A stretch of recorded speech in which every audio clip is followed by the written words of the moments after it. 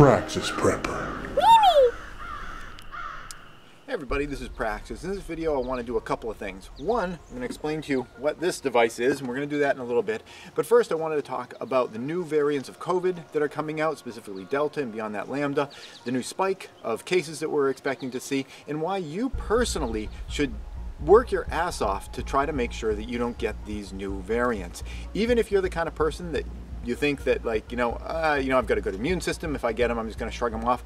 You know, I might even venture to say the vast majority of people that get COVID, it's not that big a deal. Most of the people that I know that have gotten it, it was just sort of like a little bit of a tightness in the chest. It wasn't a huge deal for them. That said, there's other people that have an atrocious uh, experience with it. You could be one of them.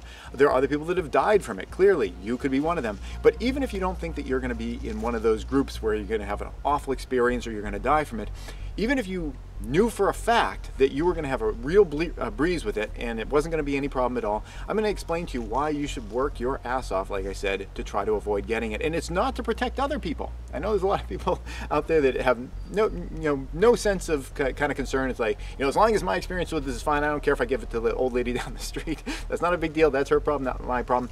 Even if you're one of those people, you should work your ass off to not get it. I'm going to explain uh, why that is right now.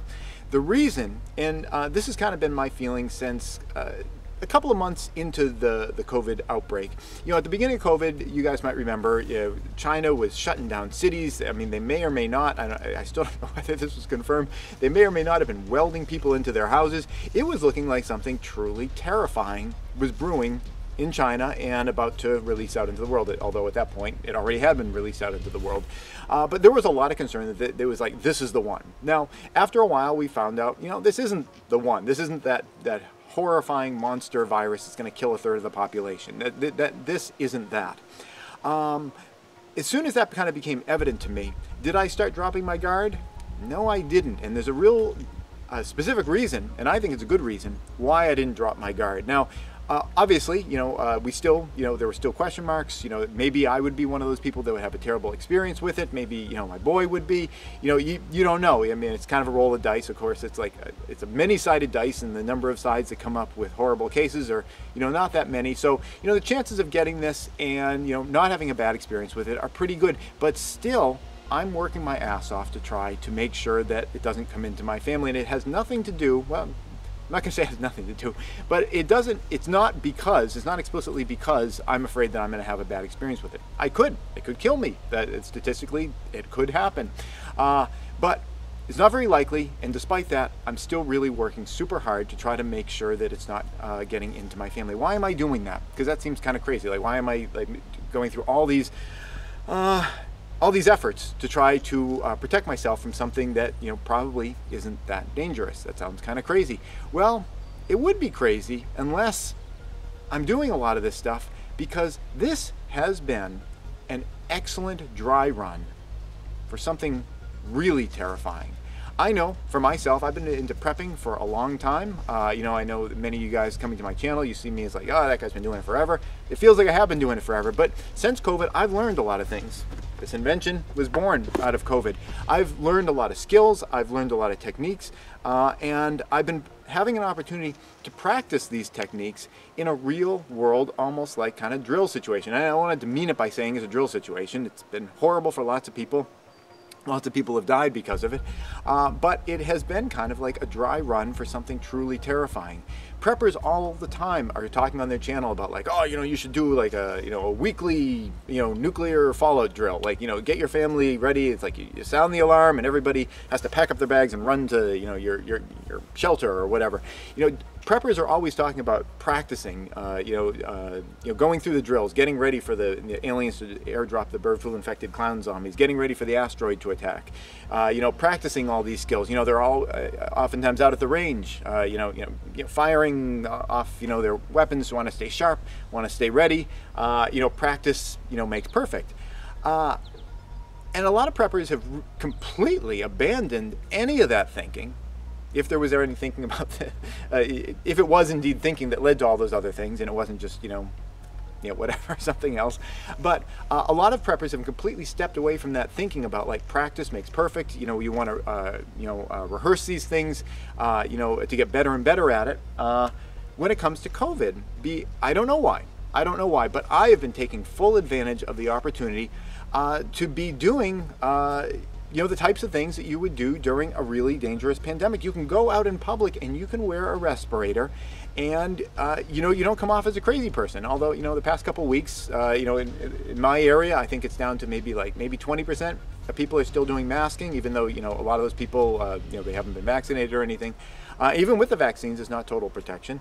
Um, uh, it's a, a, it's a real opportunity lost for people who aren't taking this opportunity to practice because you uh, you know you can do, like I said you can be out in the real world you can you know do some of these protocols uh, you can and you can make sure that they work you know test to see if they work because uh, if you can avoid getting COVID or if you get COVID even better uh, say even better but I mean that would be a, a demonstration that your uh, protocols didn't work. You know if you uh, are practicing your protocols for avoiding getting a respiratory borne illness and you end up getting COVID, you know, it's just, you know, maybe you're one of the lucky ones and it's just like a, a tightness in your upper chest or you get like just like kind of like a cough for a while or whatever, but you get it. You know you were doing something wrong. And wouldn't you like to find that out with COVID? Then airborne Ebola. I always go to Ebola. It's like my most horrifying disease ever. It's like airborne Ebola. Wouldn't you like to have had a lot of opportunity to practice and find out what mistakes you could potentially be making. Uh, you know, before there was something, you know, truly terrifying. They could, you know, kill a third or half of the of the population, uh, like that had huge death tolls, huge chance of of you know, permanent injury and and you know, well, you know, fatalities. If you can track something, it's a huge, huge, huge opportunity lost to not be practicing those skills. Now, if you are a prepper and you are not practicing these things, when we have a great opportunity to practice them, it's crazy. It's absolutely crazy that you are throwing away this opportunity, especially if you, again, are like one of those people where you're like, oh, we gotta do a, you know, a, a practice drill in case there's an, uh, an, asteroid coming in. If you are practicing for asteroids coming in and you're not practicing for some kind of a, a pandemic disease threat, especially when you have this excellent opportunity to do it, it is absolutely out of your mind crazy. And I question whether you are a prepper at all or if you are just a crazy person that kind of uses the cover of being a prepper to try to like legitimize the crazy things that you do. If you are not prepping and taking this opportunity to practice, it is just crazy. Have I said, I've probably said that six times in a row already because it is so true.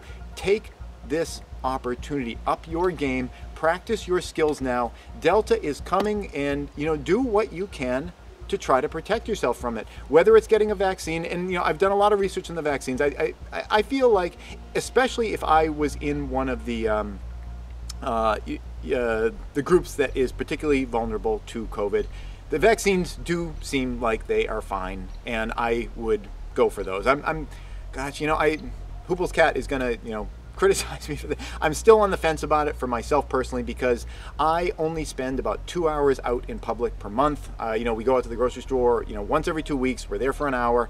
Everything else is just outside. Uh, you know, I have very, very minimal exposure.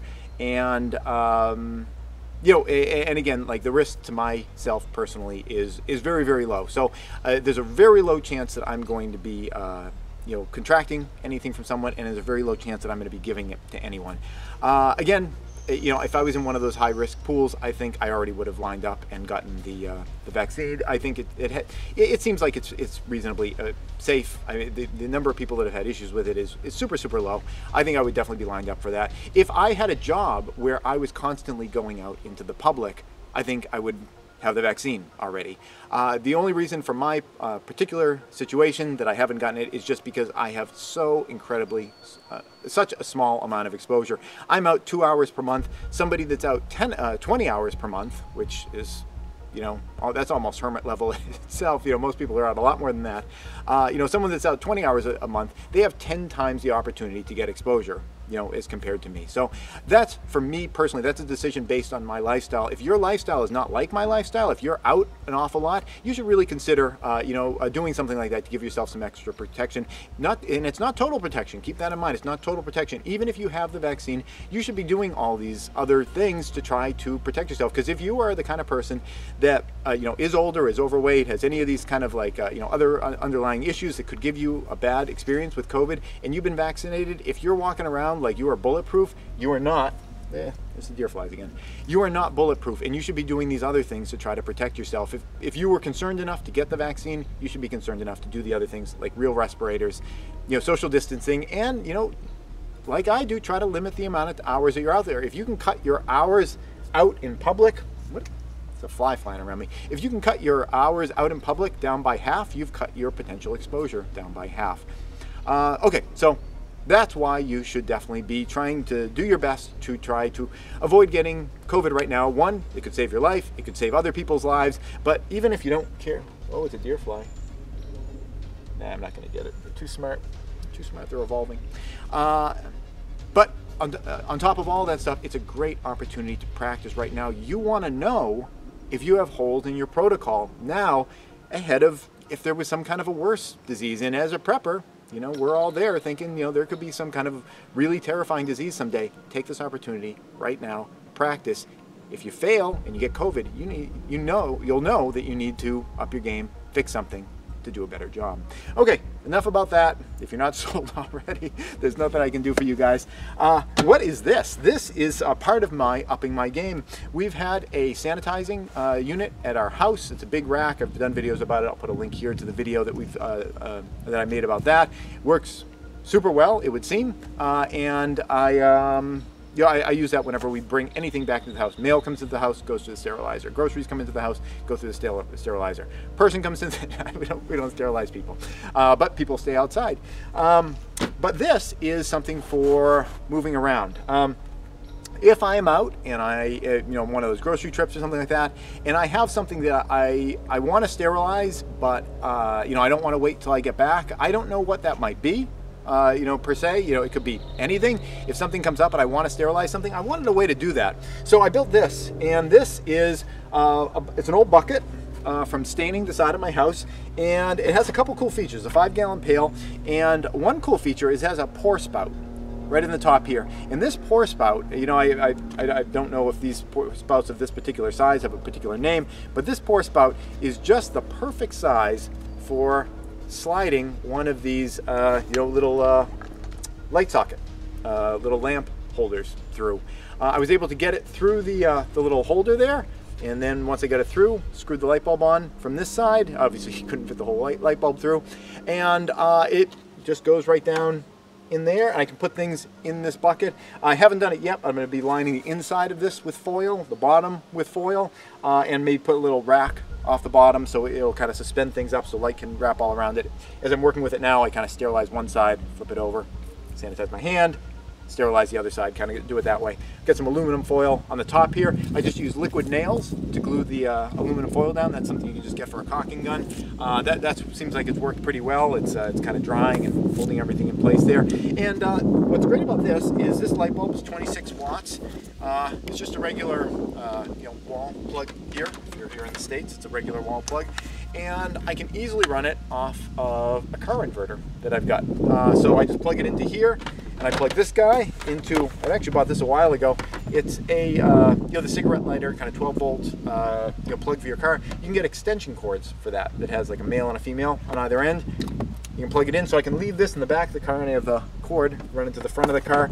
And uh, it's worked out, uh, you know, really well. I've been just been rocking it for a couple of days, and it's nice to have the option to kind of just throw something in and sterilize it you know reasonably quickly. So I've used that to up, up my game uh, one extra step. But again, I'm, I'm relying on the old stuff masking and limiting how much I'm out there. While I'm here in the car, there's another piece of gear that I've uh, been carrying since the beginning of COVID, and that's my COVID bag. I always have my EDC bag, goes with me everywhere. Once COVID started, I added uh, this extra kind of medical bag, and what do I have in here? I've got wipes. Everyone was going crazy for these wipes uh, at the beginning of the pandemic. I bought them before the pandemic really started, so I didn't have to go crazy about them. Honestly, I haven't really used these that much. Uh, the only time I pull one of these out is when I go to a gas station. I'll pull one out and, uh, you know, as, as, I'm at the gas station, I'll just kind of use it on the buttons, use it to sanitize my credit card when I pull my credit card out. Uh, that's pretty much all I use these for. Everything else I've been sanitizing with UV light um, or, you know, hand washing uh, as opposed to using these things. Uh, I've got this little thing. This is just a Ziploc bag with the old shoelace. I think it's a shoelace uh, attached to it. This is my really stylish satchel. that I can put uh, credit cards and a couple of those wipes in when I go into a grocery store. Uh, and this makes it so I'm not taking uh, dirty cards and shoving them back in my wallet. It's a way of kind of controlling where I know where the uh, uh, potentially contaminated things are and they're all on the inside of this and the outside of the surface when I, when I touch it. What else do I have in here? Just trash bags, extra, extra trash bags. Uh, they come in handy for a, a, number of reasons. I haven't used them related to the pandemic, but I was going camping recently and I pulled one of them out because we thought we forgot my boy's raincoat. So I made him kind of a, uh, a quick little poncho with one of the uh, trash bags and some duct tape uh, to uh, throw the whole thing together. And I also have some duct tape in here. I think that's a little bit overkill for this pandemic. Uh, that is, that was the idea. You know, you could cover yourself up and tape up, you know, tape gloves onto you. That doesn't seem like that is something that you know for someone in my position where I'm out very infrequently that that comes up. Although I guess if there was someone that I wanted to help that was coughing profusely, uh, you know, maybe I'd want to take some extra precautions, uh, or maybe just kind of avoid them and call for help. Uh, what else is in here? Uh, we have respirators, a bag of respirators I like to cycle through. These are all the clean ones in here. I also have some rubber gloves in there. And, uh, you know, I have not used these uh, since the pan pandemic really started, but uh, eye protection in here. Again, this would be something if you, you know, were going through an environment where a lot of people coughing or you knew, it's like, you know, I am damn sure that most of the people in that crowd are contaminated, you know, you know, you might decide you want to throw these kind of things on you. What else do we have in here? Uh, I've got some extra things that aren't directly related to the pandemic. Uh, I'll, I'll, jump into those last, but uh, also have some hand sanitizer uh, in this bag. Couple bottles of hand sanitizer. And I, I started kind of uh, turning into almost kind of like a, a bit of a, a generic medical bag. I also have a uh, emergency blanket in here. Got some sunblock, you know, there's all sorts of threats. Protect yourself from the sun too. Uh, and even down to uh, potassium iodine tablets they're in here as well. So that's what we've been doing kind of since the beginning of the pandemic. And I really do feel like now is the time to up uh, one's game because uh, evidence of past success is not a guarantee of future performance. They say that in investing. I think just because you and I uh, may have survived through the first couple uh, waves of of the the pandemic uh, doesn't guarantee that we're uh, gonna you know get through this next one unless we kind of up our game whether that's getting a vaccine whether that's upping your protocols whether that is you know uh, staying back uh, you know socially distancing yourself a little bit more. This one this delta one is different from what's come before so your uh, reaction to it should be different. Uh, it is twice as likely to infect you. So I mean by some uh, mathematics, you should consider that your response should be twice as intense. So uh, take this as an opportunity, even if you think you're one of those people that's bulletproof and you're not going to be one of those unlucky people that you know is fit and healthy but still has an incredibly horrible reaction to it. It happens not very frequently but it does happen. It could happen to me. It could happen to you. Take that seriously and start upping your game now. And even if you just don't believe that could happen like I said, this is an excellent test situation for something that has like a 30% kill rate in the future or a 50% kill rate in the future. Take this as an opportunity to make sure that your procedures actually work because the stakes are high for a lot of people with COVID, especially if they're old or overweight or have like asthma or breathing issues or things like that. But for the vast majority of us, the stakes are reasonably low compared to other pandemics and it'd be great to take an opportunity and find out if you have holes in your protocols right now. That's it. Thanks for watching. Good luck. Up your game. This episode has been brought to you in part by Prescott Caliber Club and Jeske Defense Strategies. Prescott Caliber Club is a federally licensed firearm manufacturer and retail store specializing in firearms, survival gear, and producing great online content. If you want to thank them for supporting this channel, go check them out at prescottcalclub.com. Please subscribe and tune in every Friday at 4.30 New York time for a new video. And if you'd like to support this channel, you can do so both through Patreon or PayPal.